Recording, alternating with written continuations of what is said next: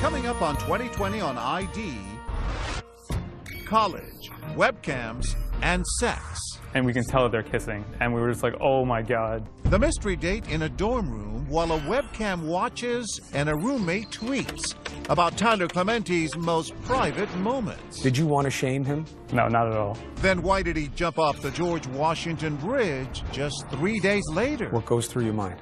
First thought, I started blaming myself. And he's not the only one. Dharun Ravi was a bully. Isn't it about time that a bully in America doesn't get off? A trial and a verdict. Count one. I mean, my reaction was, how did they, how did they come up with this? And now, Dharun Ravi tells his side of the story. Did you bully Tyler Clementi? Unforeseen consequences. Plus, a single dad in a small town, suddenly under attack. It's all about being a perv. Anonymous online gossip. How are you going to defend yourself against somebody who you don't know who it is that's doing the attacking? With devastating results. He was suicidal. But this battle is just beginning. These bastards don't get away with it anymore. Hello and welcome to 2020 on ID. I'm John Quinones. It only takes the click of a keyboard and an impulse or a grudge is racing along an uncontrollable path. First, two typical kids starting college for the very first time, but one of them ends up dead just 25 days into his freshman year. The question what really happened when one of them got sexiled, kicked out of his room when his roommate had a date? For more than a year, Dharun Ravi remained silent on what took place after that dorm room door closed. But in 2012, he spoke out for the first time, telling Chris Cuomo his side of the story that rocked a nation. It's impossible to know what flashed through the mind of Tyler Clementi as he walked the pathway of the George Washington Bridge in New York City on the evening of September 22, 2010. What we do know is that at 8:42 p.m., the 18-year-old college freshman sent this Facebook message from his cell phone. Jumping off the GW Bridge. Sorry. Tyler's life ended that night 200 feet below in the Hudson River. A death that sparked a chain reaction, generating a media and cultural firestorm. If you are someone who is being picked on or bullied or called names. It also transformed Tyler's roommate at Rutgers University, a slender frisbee throwing freshman named Dharun Ravi, into a convicted felon facing 10 years in prison. Do you think people know who you are? I really don't. They thought like, I hated gay people and I wanted to intimidate them. And that stuff doesn't even make sense to me. How do you shift? Dharun Ravi, excoriated for provoking Tyler's suicide by harassing the gay teenager online. He speaks out for the first time. You're not you're never going to be able to go back in time and change what's happened. All you can do is learn from it. Born in southern India, Dharun grew up in the suburban New Jersey town of Plainsboro. Dharun was known as bright, inquisitive, thrilled to be heading to college. I just wanted to learn how to live on my own, how to take care of myself, how to make my own decisions. I was very excited and I wanted to meet new people. In contrast to the hypersocial Dharun, Tyler Clementi was shy, reserved, a self-described loner. A skilled violinist who played in the Ridgewood, New Jersey Symphony. Tyler also happened to be gay, something he told his parents right before he left for college. He was really a great kid to have around, have around the house, very helpful very kind, uh, generous with his time. And when he practiced his violin, it was like a concert every night. Dharun found out for himself that Tyler was gay during an online search about his prospective college roommate. That's when he discovered a post from Tyler on a gay website. What did it mean to you that he was gay? It didn't mean anything. It was just it was just an interesting fact. Like almost every fact that Dharun thought was interesting, he decided to tweet it. Like most teens, Dharun was hopelessly addicted to social media. You like to tweet. Yeah. But what does social media mean to you guys today? When you type it, does it mean you mean it more than no, if you say it? It's probably opposite. What most people type is like wrapped with seven layers of sarcasm and you know another layer of irony. But what Dharun said online would play a huge role in the case. starting with his first instant message about his new roommate. Fuck my life.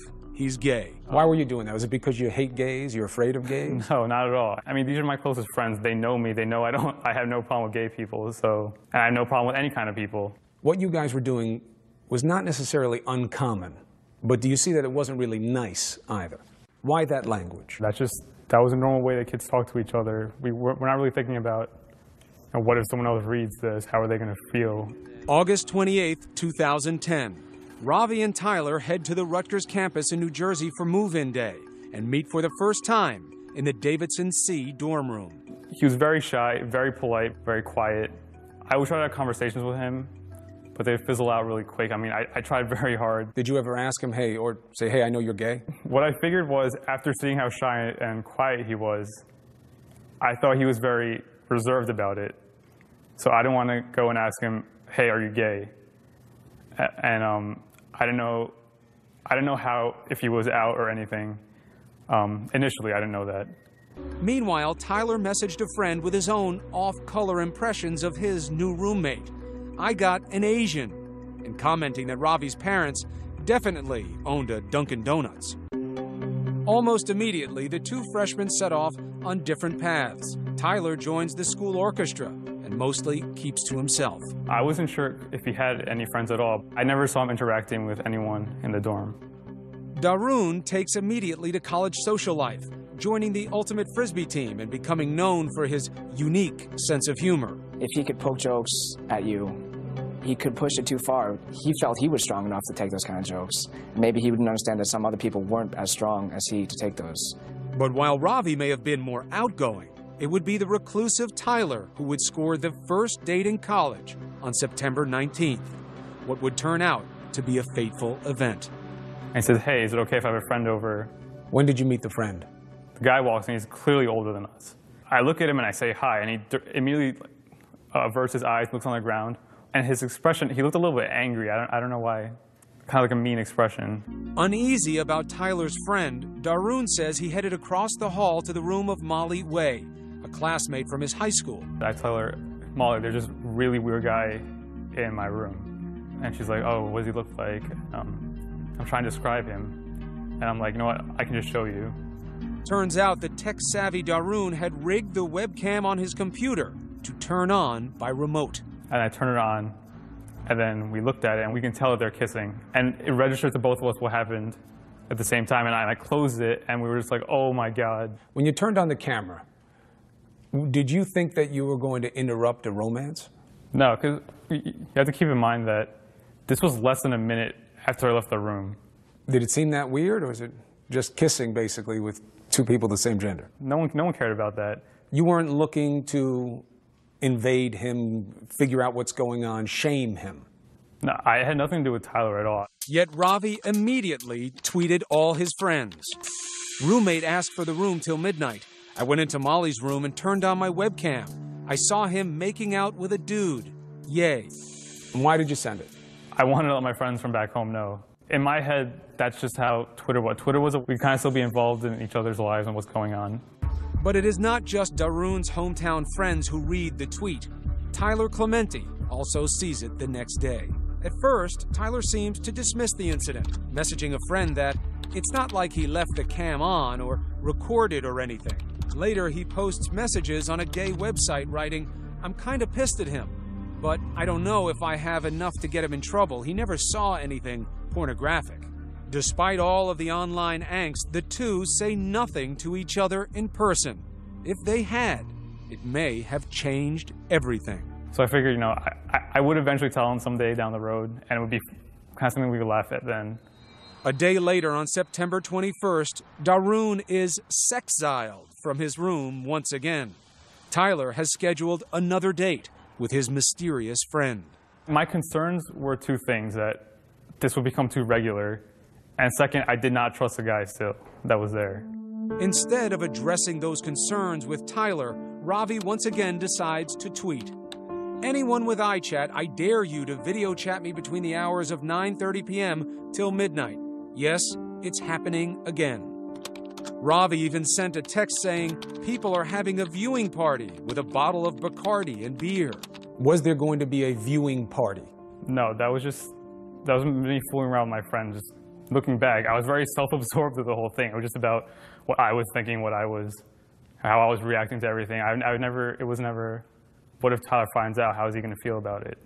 In fact, Tyler had found out. He'd been checking Ravi's Twitter feed. Tyler even unplugs Ravi's computer before his date that night. He also files a complaint with his resident assistant and asks for a room change. He writes, I feel that my privacy has been violated and I am extremely uncomfortable sharing a room with someone who would act in this wildly inappropriate manner. When you saw Tyler the next day, did he react to you like he knew something was up? No, not at all. At the time, Ravi was unaware that Tyler knew all about the webcam spying. Yeah, he seemed completely normal to me. Did you think you had done something wrong? Well, yes, that the first night I shouldn't have looked ever. That's what I thought. So I figured I should explain that to Tyler. But would he get that chance? Events were now in motion that would change Ravi's life forever and bring Tyler's to a sudden end. Stay with us.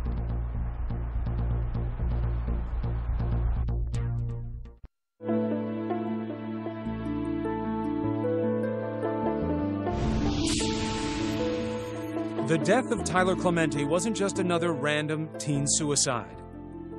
Whose death has sparked a vast debate over gay bullying.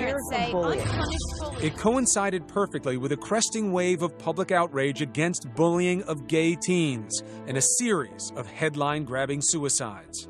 We have the power to make it better. On September 21st, 2010, the same day Tyler complained about Ravi's webcam spying, syndicated columnist and gay rights activist Dan Savage had launched his It Gets Better campaign. You have to live your life so that you're around for it to get amazing, and it can and it will. But that message never reached Tyler Clementi. He jumped to his death the very next day. We were devastated by the loss of our son, and and we still are. As the Clementis grieve, the It Gets Better campaign catches fire.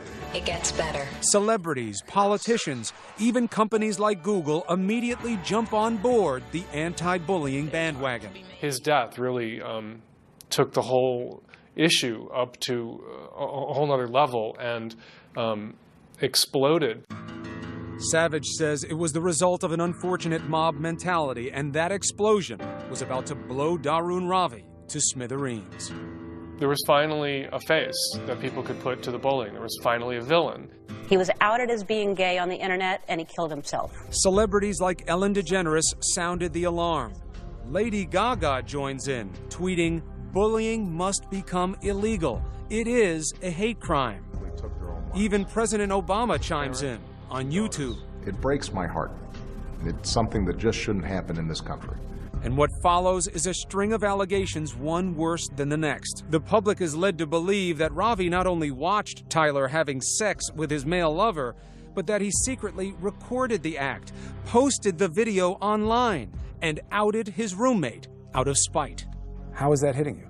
I was angry that people would make these statements without knowing what the details were. I felt like I was being used by every, everybody. And sure enough, much of what was reported turned out to be wrong. Did you out Tyler Clementi? No. But then when he brought a guy over and he walked him in, and he does this in front of everyone, he doesn't care. He's, he's okay with it. Did you record him having sex? No. Did you put anything online of him having sex? No. Did you put people together and broadcast him having sex? No, none of that happened. But it was all said, and people believed it. Yeah. And what did that make you? It made me the worst possible person. You were the face of the bully. Yeah. But Ravi says when he first heard Tyler was missing, he was deeply concerned. His suspicions directed at that mystery date Tyler brought into his room, known as MB.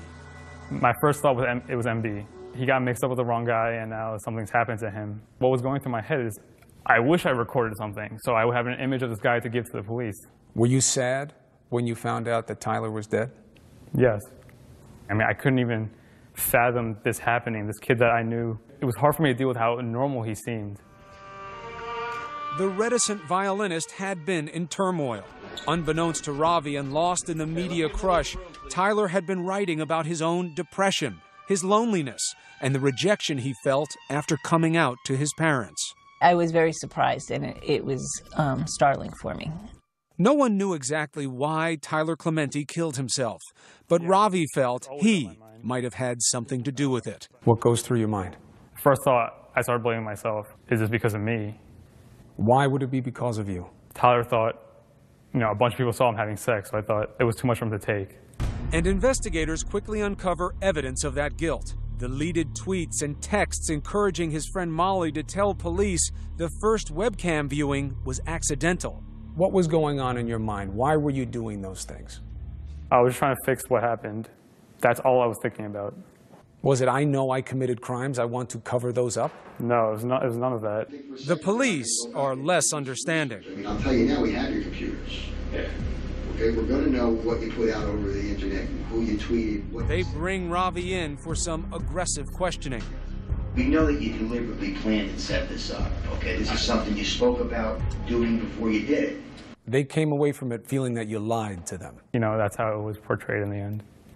Did you bully Tyler Clementi? No, I didn't bully Tyler Clementi. Do you think you misunderstood how fragile he was? I really don't think he was very fragile. I think he just didn't like talking to people. That's, that's the only thing I got from him. I don't think, you know, just because he's gay doesn't mean he's automatically fragile and can't deal with anything. How could he not be fragile and have jumped off the George Washington Bridge? Um, something had to be very wrong, right? It yeah, wasn't something, an had to be, accident. something had to be very wrong. And something was wrong. Ravi learned Tyler complained about him. So he sent his roommate a poignant and revealing text message. You told him that you knew he was gay from the beginning. You told him that it wasn't a problem for you and that this was a misunderstanding and that you had guilt. Yeah. Why did you want him to know these things? When I sent that, all I knew was that he wanted a room change. So I figured I needed to tell him that he shouldn't feel pressured to do this. Like, this is the only choice. I wanted him to understand that I'm not there to, to make him feel like intimidated or anything. However, that text doesn't stop authorities from bringing a case. The Middlesex County prosecutors hand down a 15 count indictment. The major charge is bias intimidation, a hate crime in New Jersey. There are also multiple charges of invasion of privacy, as well as witness and evidence tampering. He invaded Tyler Clementi's privacy repeatedly. And he did commit a hate crime. His Twitter feed said, Whoa, he's making out with a dude. Yay. If that's not a bias crime, what is? Punching him in the face and saying something nasty about him being gay. Is that what our society has to come to, Chris? The fact is that invasion of privacy and words do devastate. Steve Goldstein is the chairman and CEO of Garden State Equality and the first to call Tyler Clementi's death a hate crime. The impact that it had, those words had on Tyler Clementi, were devastating. How do we know? Chris, some tragedies are so awful, they speak for themselves. Can you think of another cyberbullying case where none of the electronic messages were directed to the victim? I would. I don't have an answer to that. I would have to check. I can't find one. The case is unusual enough that the prosecution offers a plea deal. They say no jail, community service. But what was the but? That I had to go up there in front of the judge under oath and say that I did this because I had this hate for gay people. That's just something I could never do. I mean, people always ask, you know, you might regret not taking the plea deal one day. I told them, you know what, I'm never going to regret not taking the plea deal. What I would regret is not even fighting for my side of the story. Coming up, Dharun Ravi takes that fight to a New Jersey courtroom. But will his own tweets, texts, and a parade of classmates send him to prison for 10 years? Stay with us.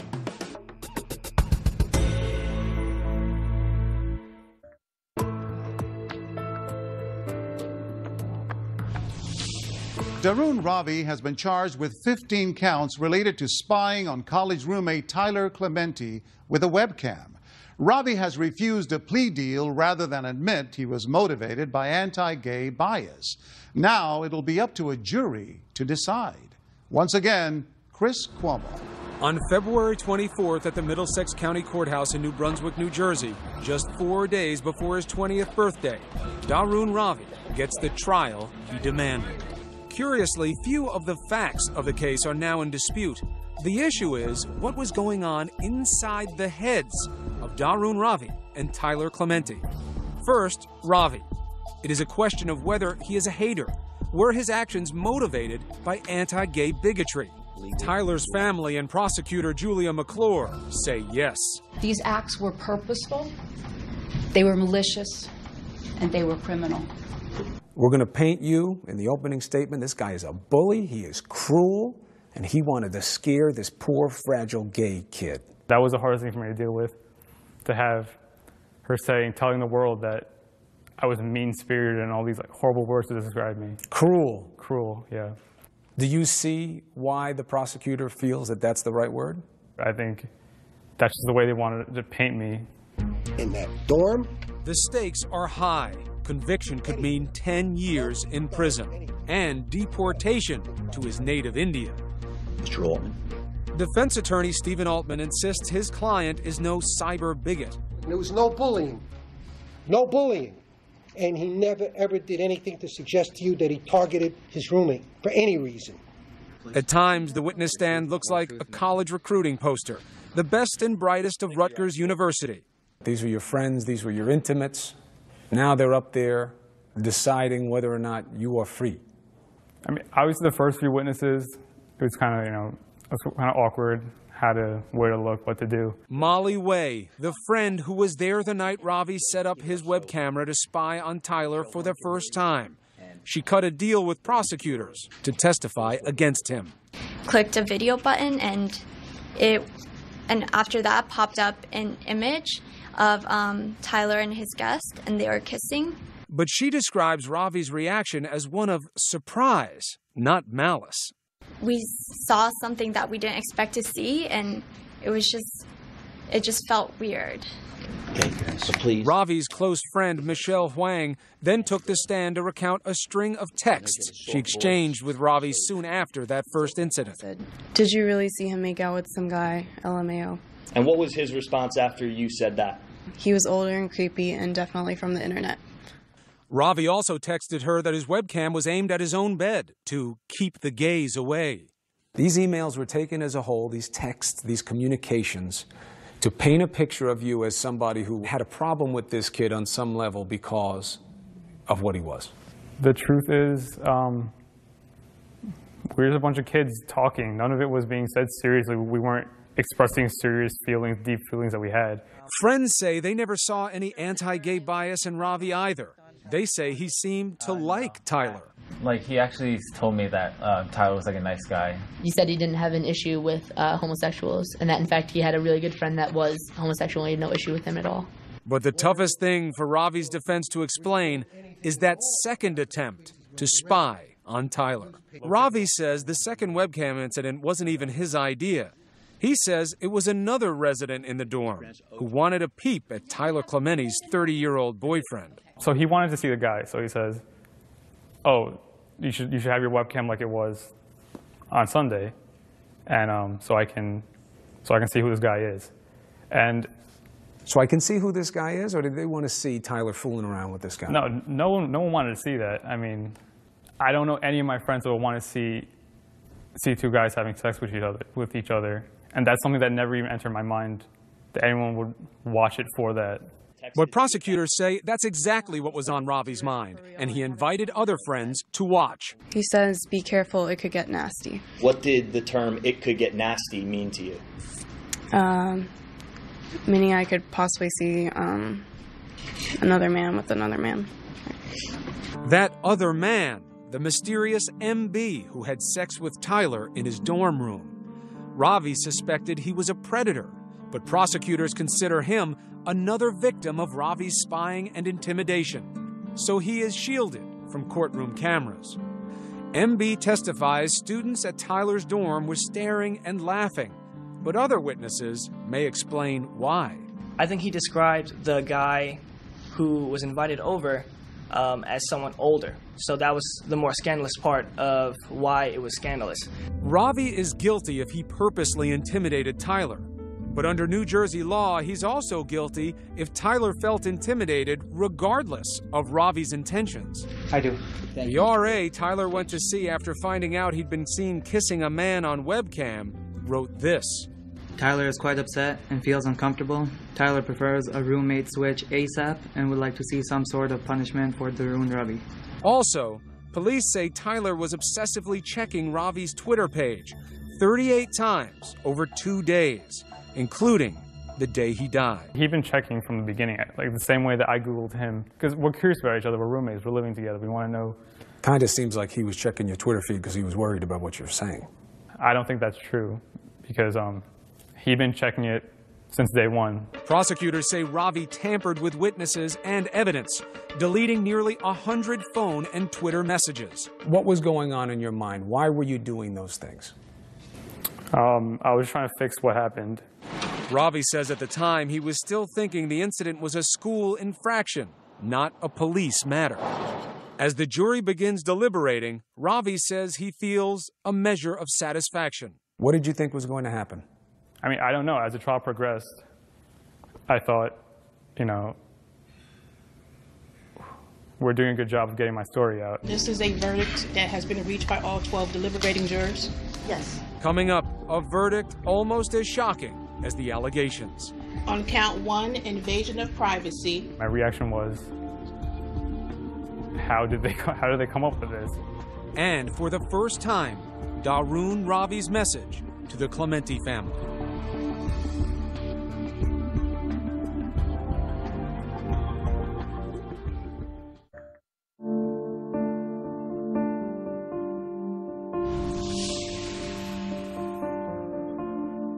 A quiet Rutgers campus, awaiting the return of students from spring break. A few blocks away at the Middlesex County Courthouse, Dharun Ravi is waiting too. What did you think the verdict was going to be? You kind of don't want to let yourself get hopeful, so you kind of don't think about it and just deal with it when it's read. And when it is read, what did you think? I mean, my reaction was, how did they how did they come up with this? Count one, guilty. Count two, guilty. Count This was a resounding guilty. count 15, guilty. All 15 counts. So I couldn't understand how they got me on every single thing. I mean, initially I thought, you know, maybe I'm wrong about myself. Maybe what the prosecution's saying is true, that I'm cruel and hateful and all of this. But then the more I thought about it, I figured maybe they attributed everything to the suicide. Maybe they don't understand the law. Tyler's suicide, the elephant in the courtroom. You weren't supposed to consider the fact that Tyler Clementi's dead, right? Or that he took his own life. Is that possible? It did not factor in our decision at all. In what they call a very close case, the decision the jury reached may have had as much to do with what they did not see and hear. First, So if Dharun Ravi had a gay friend that he had an open relationship with, you would have seen all of these other things that happened as not being bullying. I would have felt that Tyler would never have the thoughts of being intimidated at all. and the jury never saw a note found in Tyler's backpack. What's on it to characterize it as suicide note, it might be a mischaracterization, but whatever was on it was authored by him. Let's say within 12 hours of his of his death, you would certainly want to see that. And they wouldn't let you see it. No. Look, step to the side, please. Grounds, they say, for an appeal already in the works. Ravi's fight clearly not over. And for Tyler's family, there is no end to the heartache they suffer every day. The trial was painful for us, as it would be for any parent. Ravi never made any public statement, never offered condolences to the Clementis, something he was criticized for. His attorneys insist that was their call. But in this interview, Ravi had something to say. I would just tell him that I thought, you know, he's a very good kid, very nice, and one of the most pleasant people that I've ever met. Um, and yeah, I would just tell them that I, I had no hate, and I knew that he didn't hate me either. Do you think you misunderstood Tyler Clementi? Yeah, I think what I thought was about him being quiet and shy. I think I should have tried harder to break through that and get to know him better. In the wake of the verdict, a surprising shift in the media from Ravi the villain to Ravi, the victim. Heated debates over the fairness of the law and how it was applied. This was not your, you know, schoolyard bully who, who grew up, you know, demeaning other people routinely. This was a guy who was more of a prankster than a bully, uh, who had a fascination for, for IT projects uh, and for uh, inventing new kinds of applications and new ways of using his computer, uh, and who had anxieties about uh, going into college, starting college, and having a gay roommate. You don't think he's a hate criminal? I don't think he's a hate. He's not your classic, you know, KKK hate criminal. He's not. And that's what that law was intended for. That's what that law was primarily intended for, no question about that. Even Dan Savage of the It Gets Better campaign has reservations about this case. There was an unseemly rush to pin all responsibility for Tyler Clementi's death on Molly and Ravi, to shift all blame onto these two young, foolish, thoughtless teenagers' shoulders. And we need to look to the other events in his life if we want to prevent more cases like this from happening.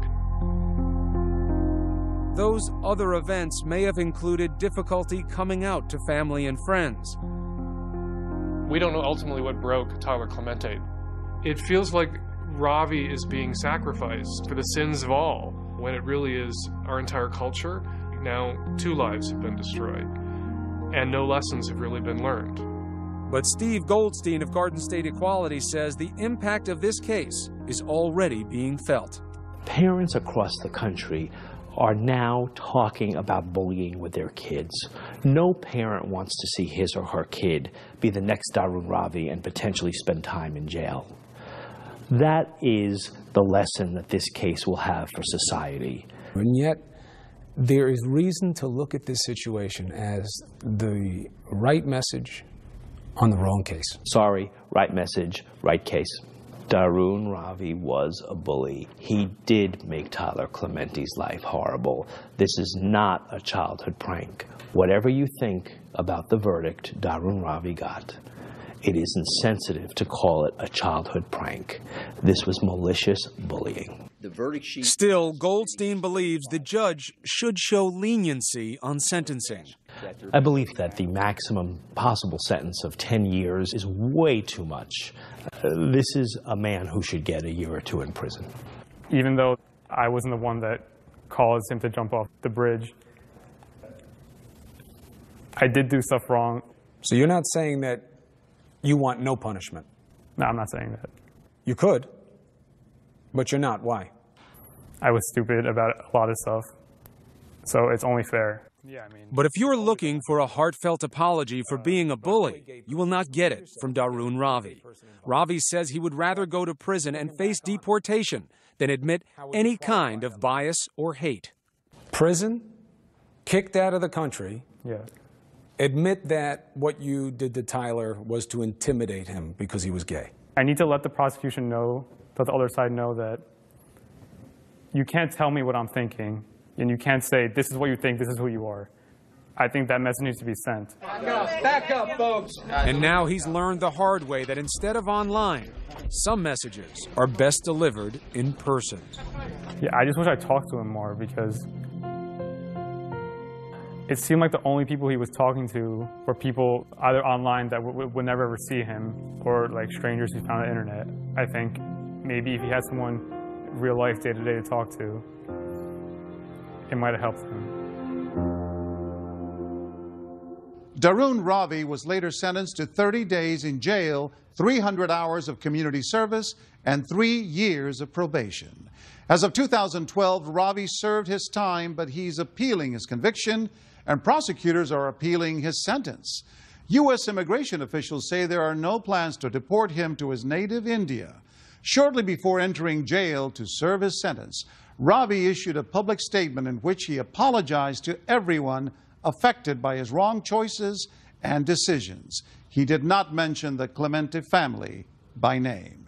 They, meanwhile, have started a foundation in Tyler's memory. Its goal is to prevent teen suicide and implement anti bullying programs. When we come back, a small town turns on one of its own. Oh my God, I was wondering what in the world have I done to make this many people upset and mad at me? As a gossip website turns ugly. All I called him was a pervert. But this battle has just begun. Stay with us.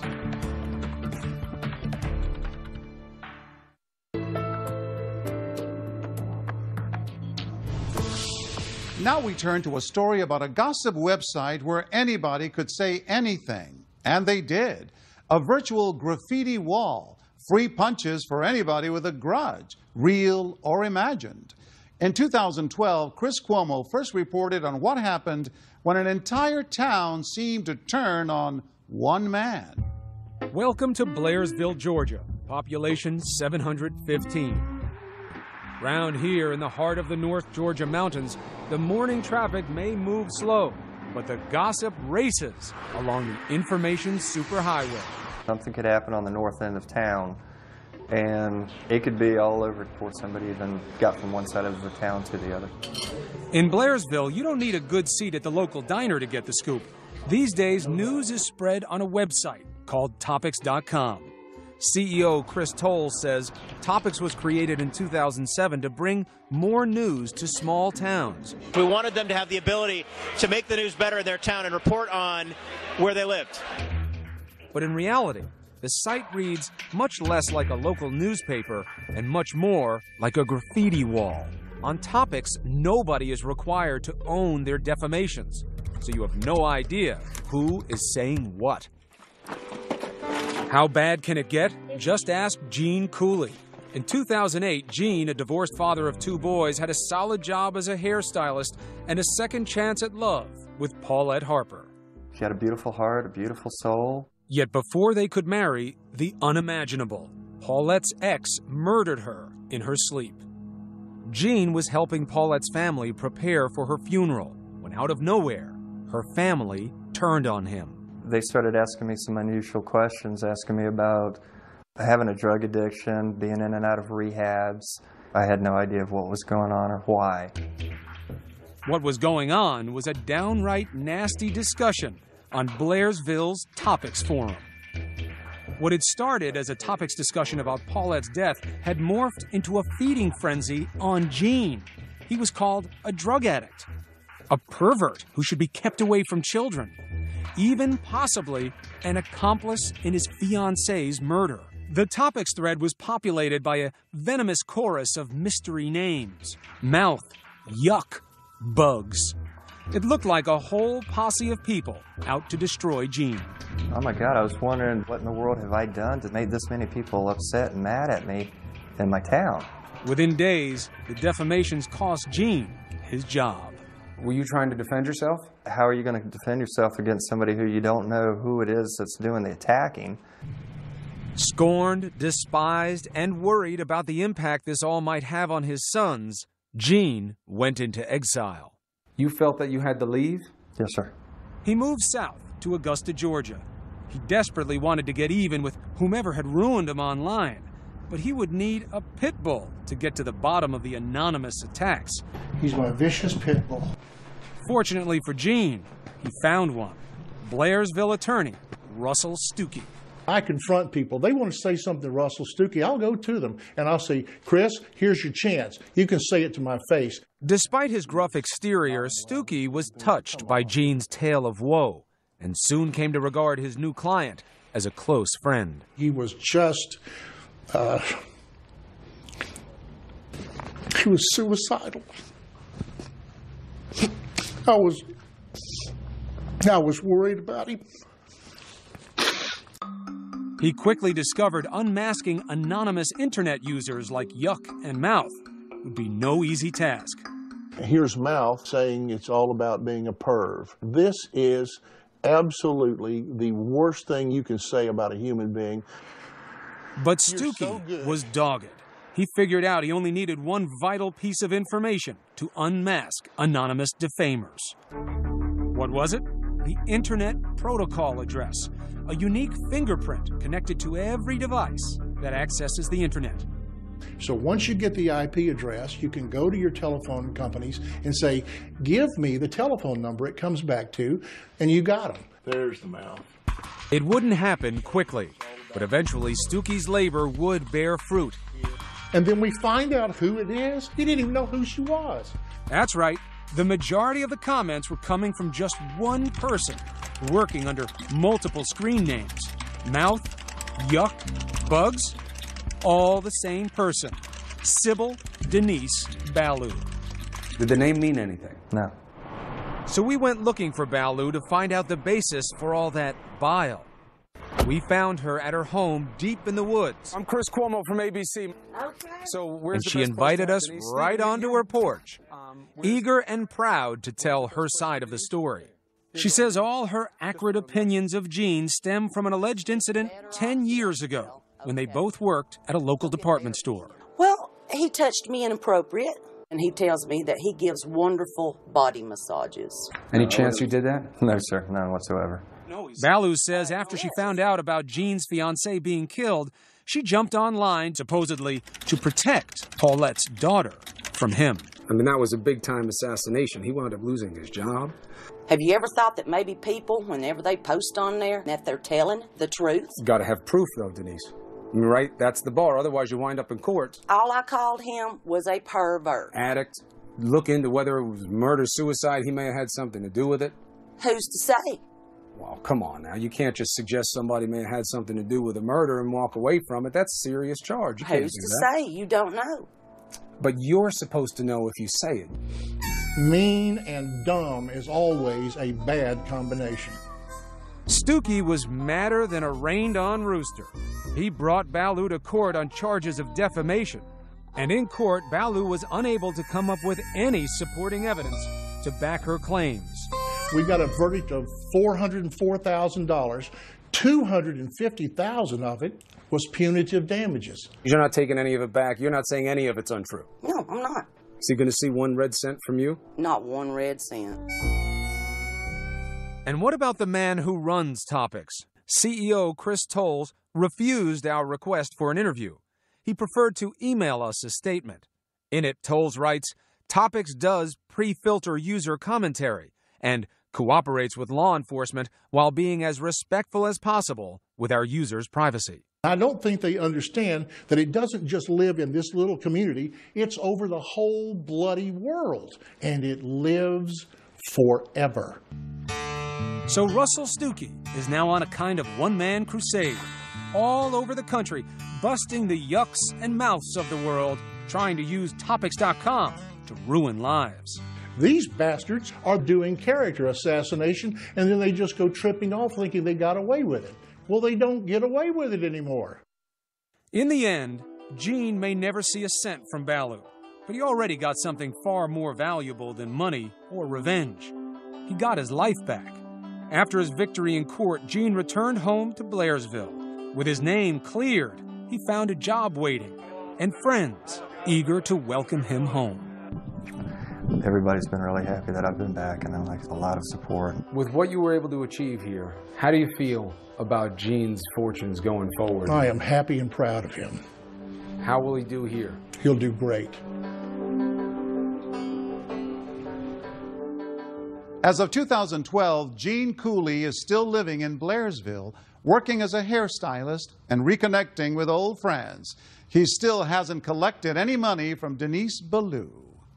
I'm John Quinones. Please join us next time for another edition of 2020 on ID.